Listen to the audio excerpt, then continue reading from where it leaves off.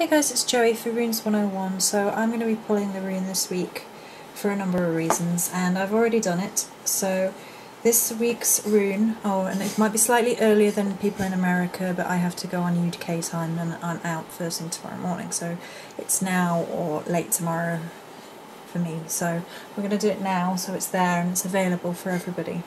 So this week's rune is Algiz, or um, my in my book it's Al E O L H. I'm not entirely sure how to pronounce that version, but I, I know Algiz is um, the other version.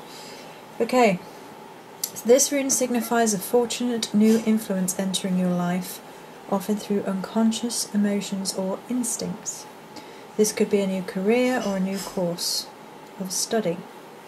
Is a rune of friendship and often shows a new relationship with someone who is outgoing, generous, and fun to be around.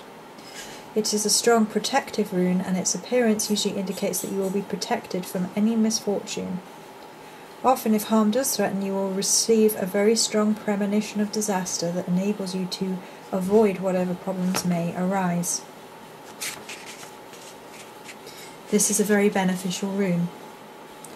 Reversed is a sign of vulnerability, of sacrifice with no personal gain. It may mean you are being deceived and misled, and all of the forces you are experiencing are for the benefit of others and not for yourself.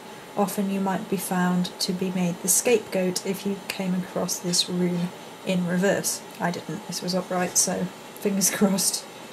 Can show an offer which should be avoided or a person to be avoided. Um,